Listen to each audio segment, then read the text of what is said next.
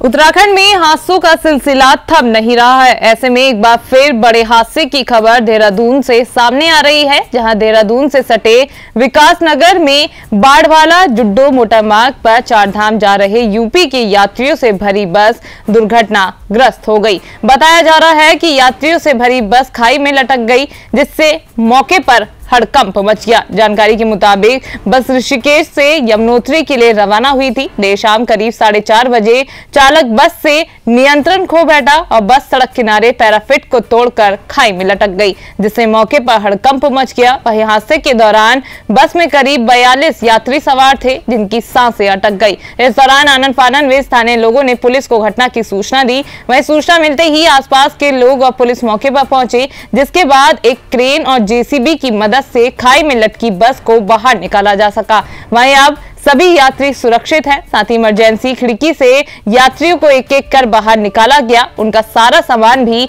सुरक्षित बाहर निकाल लिया गया है, जिन्हें एक होटल में ठहराया गया है। बताया जा रहा है कि वाहन में चालक और परिचालक के अलावा कुल 42 यात्री सवार थे, जिनमें से दो मथुरा और बाकी गोंडा के रहने वाले थे। यात्रियों के लिए दूसरी बस की व्यवस्था की गई है, जिसके बाद उन्हें आगे के लिए रवाना किया जा रहा है।